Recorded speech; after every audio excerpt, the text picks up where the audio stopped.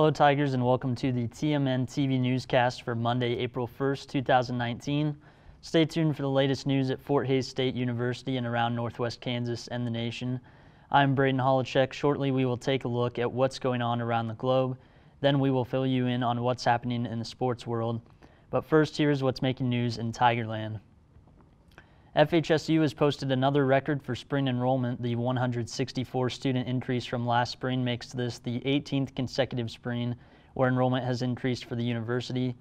The string of record enrollments began in 2002 when both spring and fall enrollments set all time highs. Each semester since has been higher than the corresponding semester from the previous year for FHSU. FHSU informatics students earned seven first place awards at this year's annual Kansas Association of Broadcasters competition. The students and their advisors will receive their awards in Lawrence, Kansas on April 2nd. The students to receive first place finishes include Nathan Johns, Lauren Davis, Lexi Gross, Sergio Perez, Brooke Burton, Michael Turner, and Carolyn, Caroline Ray Strickland. Besides seven first place finishes, FHSU students also brought home four second place finishes and two honorable mentions.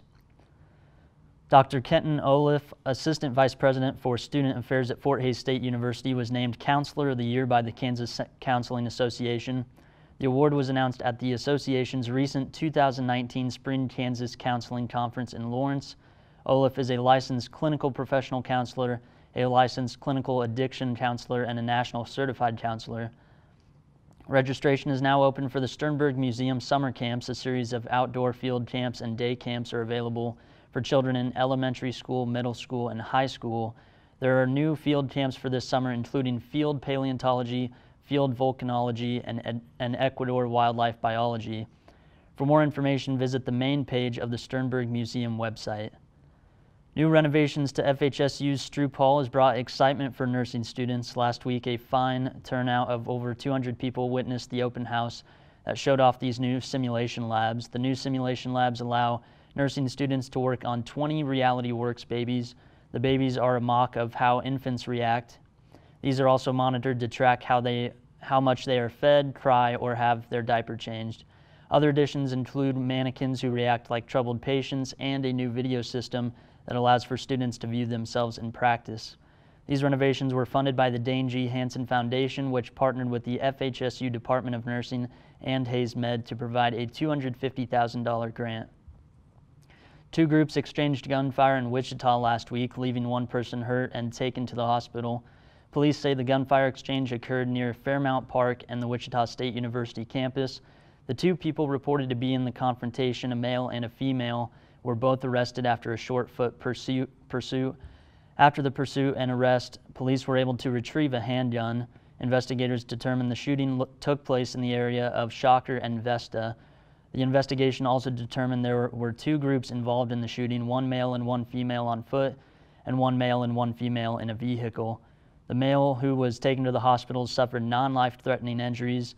Police have also described the shooting as a non-random, and the investigation is still ongoing. Sign up now for the free Kansas Hunter Safety Internet Assisted course provided in Ellis, Kansas. The students will be issued a pre-test over online materials. All students will be tested over the internet, cor internet course material. This pre-test will be administered at the beginning of the field day. A passing score of 22 correct answers out of 25 questions is required to proceed with the rest of the, of the course. Students failing to achieve the minimum score of 22 will be dismissed from the class. The minimum age to be certified with the class is 11 years old. Students must complete the online portion of the course prior to attending the field day. The field walk session will be as much like an actual hunt as possible. It is recommended to wear boots or walking shoes and long pants. Class will begin at 8 a.m. on April 6, 2019. Lunch will be provided by Pheasants Forever Smoky Hill Chapter 424. Students will be traveling to the city of Ellis Gun Range to conduct field walk and a live fire exercise. Fort Hays State University will be providing hearing tests this spring funded by the Kansas Masons. There will be three free hearing screenings provided in western Kansas. The first screening will occur this Friday, April 5th from 9 to 1. The location of this screening is in Great Bend at the Barton County Health Department, 1300 Kansas Avenue. It is encouraged to schedule appointments ahead of time, although walk ins are welcome too. First come, first served basis. For more information on the Great Bend screening, contact Greg Keene at 620-617-3634 or email him at gmkeene at 316.live. Results and free earplugs will also be provided. The last of the screenings will be in Belleville. Time, date, and screening site will be announced at a later time. Two juveniles from Topeka have been arrested after a shooting in Lawrence. Police arrested a pair of 17 year olds on charges of aggravated robbery in the shooting. Two victims in the shooting were treated at a local hospital. The Lawrence Police Department says the shooting occurred outside Holcomb Park Recreation Center in southwest Lawrence. Both of the juveniles were detained, and the Lawrence Police Department stated they were not searching for additional suspects. A former Wilson graduate has earned an award in international student affairs Ashley Templeton, Wilson graduate, student majoring in higher education student affairs, was presented with the 2019 Award of Excellence for Outstanding Parent and Family Relations Professional Award by NASPA, Student Affairs Administrators in Higher Education. She is also the graduate assistant for new student and family programs in the university's Division of Student Affairs. This award was presented at the recent annual national conference in Los Angeles which was attended by more than 7,500 faculty members, administrators, staff, and graduate students. She was recognized by the Parent and Family Relations Knowledge Community, a division of NASPA, for her work during the previous year as a graduate assistant. Retired FHSU President Dr. Hammond has been named President Emer Emeritus of Fort Hays State by the Kansas Board of Regents.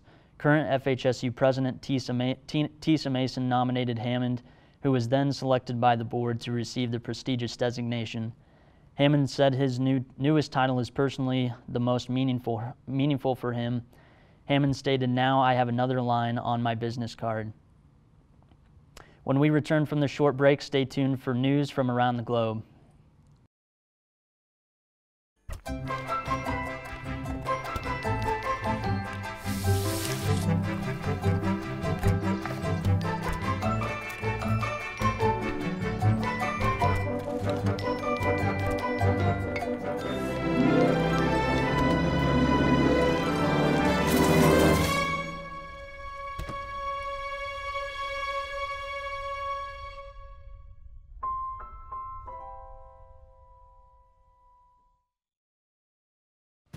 It takes less than one minute to find out if you may have prediabetes, and you can do it here. So what are you waiting for? Just go to the site. Welcome back, Tigers. I'm Braden Holochek, and here's what's going on around the globe. After global disputes over whether or not to vaccinate children, Arizona police were forced to kick down the door of two parents who refused to take their sick, unvaccinated child to receive treatment. According to a press release from Chandler Police Department of Arizona, Officers were dispatched to the 1600 block of Marlboro, Marlboro, Marlboro Drive after a report from the Department of Child Safety had been filed in regards to the two year old living there. The parents were initially given the opportunity to vacate the premises, and upon failure to do so, officers breached the front door and took the child into temporary custody, along with two other unreported children suffering from similar illness. The latest on the case includes all three of the children being rushed to the hospital to undergo procedures, including vaccinations, to get them back to their previous health. Dr. Eric Ball of the American Academy of Pediatrics announced plans to implement a more strict policy on vaccinations in the state of California. The policy was presented to legislation following New York County declaring a state of emergency following a severe measles outbreak. According to a press release given last Thursday morning, the policy would allow, would allow state public health officials decide which students would require vaccinations prior to attending school in order to avoid a similar outbreak. Physicians would be required to send in an official statement regarding why they feel the child should be exempt from vaccination, and the final call would would then be made by the government. Democratic State Senator Richard Pan believes that parents who do not want their children, children to be vaccinated are seeking doctors who monetize their license through exemptions being sold online and in advertisements. Controversy has struck President Trump yet again as he selected two more conservative nominees to join the Ninth Circuit of Appeals, a group of nominated individuals who vote on the president's proposed policies. The two Democratic senators of California, including Dianne Feinstein, have found this no- notion to be wildly biased and disgraceful to the panel. Prior to Trump's presidency, all candidates were appealed by the senators alongside the president and his committee, but for the first time in 100 years, Trump has approved multiple members without regards to the politicians alongside him. The Democratic Party has long found issues with Trump's candidates, most recently Eric Miller. Miller is said to show right leaning values alongside a career emphasizing hostility towards Native American rights. Feinstein com- commented that she believed it was an attempt by Trump to swing the left leaning committee in order to align more closely with his views and policies. In response to the president's actions, Feinstein has called for a return to previous blue slip traditions. Blue slips allow both state senators to provide their opinion of committee members discreetly. More news following controversy amongst Trump actions include a proposal to close the southern border to Mexico on Friday morning. In a string of tweets, Trump stated that the Democrats provide the weakest immigration laws and a temporary closure of the border will be put in place if illegal immigration flows do not cease. The tweets came in response to Mexico's President Andres Manuel Lopez stated that immigration is a primary problem for the United States due to the bipolar laws set in place. Trump was supported by Border Protection Commissioner Kevin McAleen, who stated that the border was at its breaking point.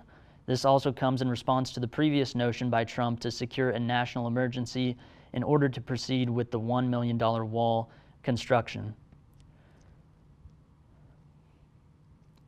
Secretary Betsy DeVos recently share, shared a press release stating her devotion to improving education for students with, dis, with disabilities in the United States. Alongside the Special Olympics, dozens of nonprofit organizations have been implemented to provide funding for after school programs and extra college resources. DeVos states that she is devoted to addressing issues that, that stand in the way of a student's success.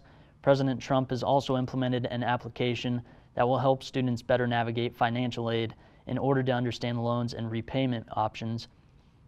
The implementation of free inquiry and access to opportunity is emphasized by both DeVos and Trump's policies, regardless of their disagreements otherwise. San Antonio City Council has been under severe scrutiny following their decision to ban a Chick fil A from opening the San Antonio airport after anti LGBTQ allegations. The establishment's history of re- re- religious activity was said to go against the city law that states any business that does not agree with the local government's preferred opinions is not welcome to do business in that city. The removal of the Chick fil A has generated speculation on whether or not the council's action is legal or if they are blatantly breaking the law with their hostile message to business owners. Councilman Robert Trevino stated that the government will not tolerate hateful behavior and that everyone has a place in their city However, the law explicitly goes against this notion by preventing a religious based establishment from conducting business in their airport. As weather begins to warm up, the nation faces risks, risks of newly found mosquito borne Ill- illness. As climate change increases, mosquitoes carrying foreign illness begin to expand their range. Scientists have projected worst case scenarios showing up to a billion people being put at risk within the next century. Canada and Northern Europe are most prevalent in this concern. As they begin to see warmer winters, mosquitoes will live out the cold and transfer diseases such as malaria, yellow fever, and the Zika virus to new countries. While patrons traveling and transitioning the bugs and their pathogens is already proven enough for an outbreak, the ever changing weather has only provided a more suitable route. Recently, the University of Michigan has been delving deeper into their research among the colony of mosquitoes they have raised they believe their research will pair well in preparation for climate change and preventing the spread of the Zika virus. Other pathogens being spread causing illness, such as malaria, has been monitored for years with little known solutions. Nation, nations such as Ethiopia have struggled with deaths in the millions due to this death, deadly virus. In a violent rainstorm this Sunday, 25 were killed and over 400 injured as, a, as results of falling, falling tree limbs and flying objects. The Prime Minister Khadga Prasad Oli announced the storm took place about 75 miles from the country's capital. The death toll is expected to rise, however, helicopters life fighting, life fighting those injured are being forced to wait out the storm for their own safety. Many roads have been blocked off as a result of the debris, making the route unsafe for travel. That's what is happening in the news world this week. Stay tuned for a sports update when we return.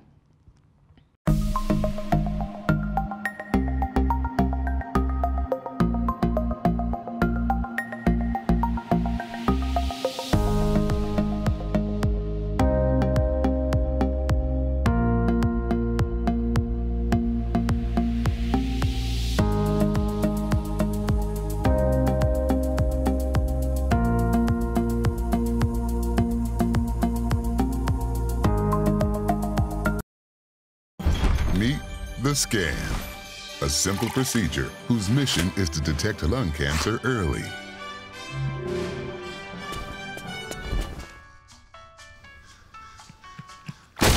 I'm here to save you! But I feel fine. That's great, but you may still be at high risk for lung cancer. Oh man, that's a new fence. If you smoke, early detection could save your life. Learn more at savedbythescan.org. The Fort Hays sta- the Fort Hays track and field team had strong performances in their only home meet of the season.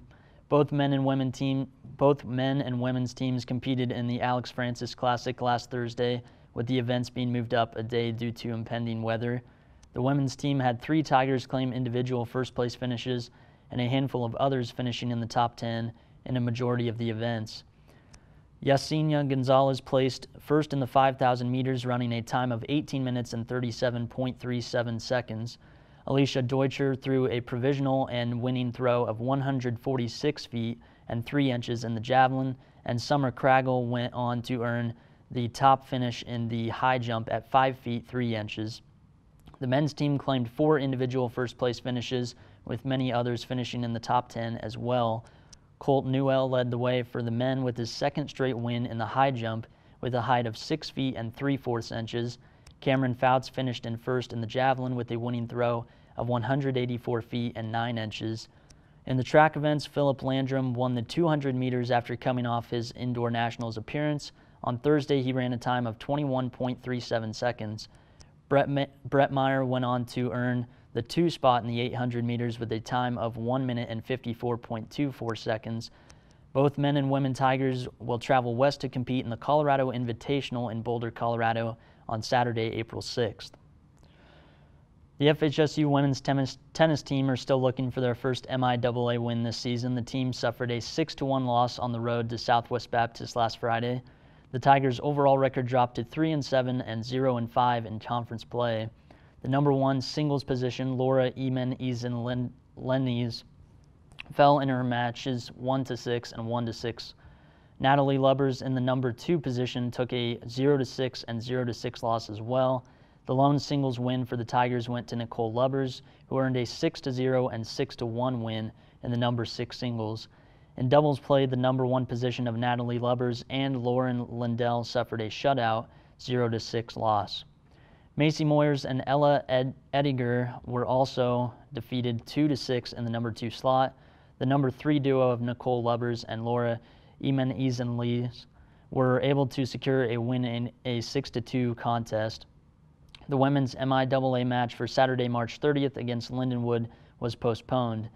FHSU will travel to Nebraska Kearney to face the Lopers on Wednesday, April 3rd. The Fort Hays MIAA Championship football team will give Tiger fans a preview for the upcoming 2019 season. The annual spring football scrimmage has been set to take place on Saturday, April 13th at Lewis Field Stadium. The scrimmage is to begin at 1 with tailgating taking place in the north parking lot beginning at 10. Festivities hosted by Tigers Forever, the FHSU Alumni Association, will also be taking place during the spring game. Admission to the game is free for all. The Tigers will also host a youth football camp for kids in 1st through 6th grade from 10 until noon. A punt, pass, and kick competition will be included with the finals to be held during halftime of the scrimmage. Registration will begin at 9 at the stadium and is $20 for each participant. The Tiger baseball team dropped a doubleheader on Sunday against the Lindenwood Lions. FHSU fell 13 to 1 in the opener and then took another loss 16 to 3 in the final game of the day. Their record now moves to 3 and 23 overall and 2 and 15 in conference play. The Lions pitching overpowered the Tigers at the plate in both games. In game 1 of the series, Fort Hays could only total 5 base pokes in the opener. Jared Haynes and Landon Irway each tallied two hits with Ryan Grasser earning the third of the game and the lone RBI. Ryan Reuter was, the, was on the mound for the Tigers, allowing eight runs on 10 hits he struck out two batters and walked one. Chase Worth stepped in on relief but allowed five runs in two innings, with Jason Vieira stepping in to toss a scoreless frame in the seventh while earning one strikeout. In game two of the day, Ethan Boo pitched six innings, allowing two runs on seven hits while striking out one and walking four batters. Ryan Brown was, tap- was tapped for six runs in the second half of the seventh inning, before Tanner Smith came in to get the final out of the inning.